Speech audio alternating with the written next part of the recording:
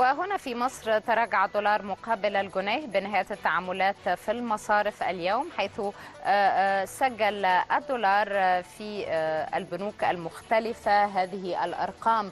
نبدأ بالبنك الأهلي المصري. أسعار البيع 17 جنيها و59 قرشا والشراء 17 جنيها و9 وأربعين قرشا وتتراوح الأسعار في البيع وصولا ل 17 جنيها و63 قرشا.